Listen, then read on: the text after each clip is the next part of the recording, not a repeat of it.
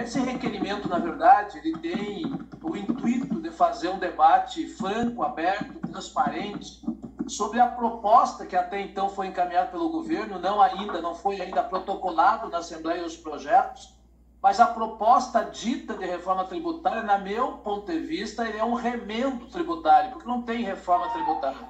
Pelo contrário, é extremamente preocupante as propostas que nós até agora conhecemos, entendeu? É uma proposta que, na verdade, ela, ela ataca mais uma vez, principalmente setores que hoje já são aqueles que já são extremamente penalizados pela carga tributária, que são os trabalhadores, que é a classe média, que são os pequenos e médios empresários. Ou seja, se nós olhar o conjunto das propostas, ela praticamente não traz nenhuma novidade a não ser penalizar ainda mais aqueles que já estão sobrecarregados,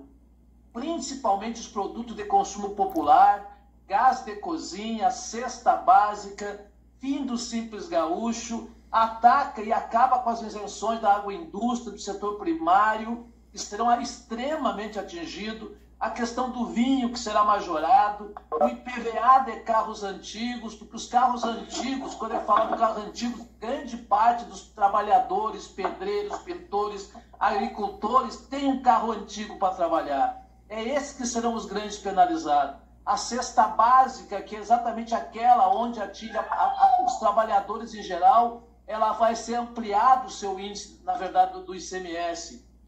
principalmente aquilo que é de consumo mais do dia a dia, mais popular. O gás de cozinha passa de 12 para 17. A cesta básica tem um escalonamento que amplia muito o custo. Tem questões muito, muito básicas, eu acho que extremamente sérias. Quer dizer, então, acho que é absolutamente necessário fazer um grande debate com a sociedade, com todos os setores, porque é, é, é necessário fazer reforma, acho que é, mas esta apresentada até agora, que até agora foi através um data show e que não tem ainda as propostas protocoladas, no meu ponto de vista, são completamente ineficientes, atacam violentamente, principalmente as pequenas e médias empresas, acaba com a discussão do Simples Gaúcho no estado do Rio Grande do Sul, que é importante, e é muito grave, porque é nesse momento que nós estamos vivendo uma situação de pandemia, onde a grande situação de dificuldade de renda para todo mundo, as pequenas e médias empresas estão extremamente ah, fragilizadas, e esta proposta ataca de frente isso. Então,